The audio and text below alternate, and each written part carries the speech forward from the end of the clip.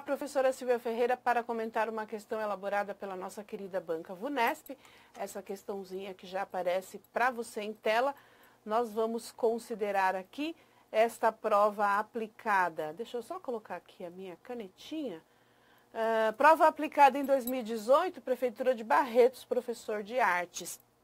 O pronome que substitui a expressão destacada, em conformidade com a regência padrão da língua, está indicado entre colchetes e. Então, veja, aqui mais uma vez nós vamos observar a ideia de que a banca não cita transitividade verbal, ela não cita objetos diretos ou indiretos, mas ela faz menção exatamente a grifar aqui aquilo que exerce função de complemento verbal e pede para que nós façamos a substituição deste complemento verbal pelo pronome adequado. E aí nós vamos bater naquela regra decoreba que todos nós sabemos. Todo o a, os e as exerce função de objeto direto. Todo lhe ou lhe, claro que com lhe ou lhes, considerando ali as suas, as suas é, é, os seus senões, nós temos ali a função de objeto indireto. Então veja que eu preciso entender que os seus potenciais se ligam diretamente ao verbo descobrir. Quem descobre, descobre algo, descobre alguém, descobre alguma coisa,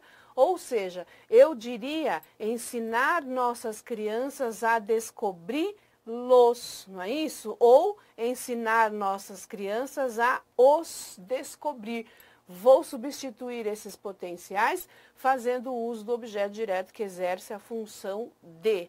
Mas a banca colocou a alternativa ou a substituição fazendo uso do pronome le, que exerceria a função de objeto indireto.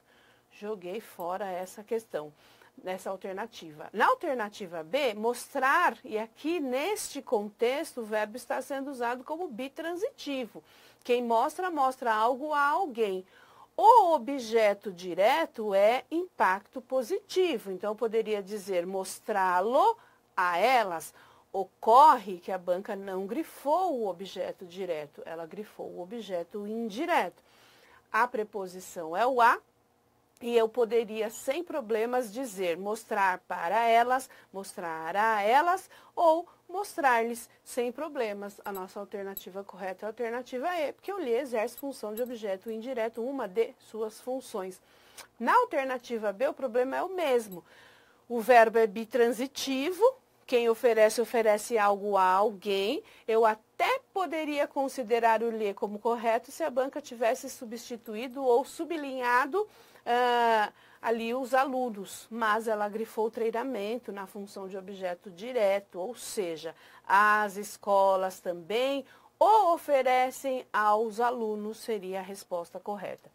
Na alternativa D, a mesma coisa. Quem contata, contata alguém. Perceba que eu preciso substituir este pronome ou estes estudantes pelo pronome que exerce a função de objeto direto. Professores também podem os contatar ou também pode contatá-los ou também os podem contatar. Tem várias possibilidades de colocação pronominal, desde que fosse o OA os e as, né? Ali ornando com estudantes deveria ser o os e não o lhes.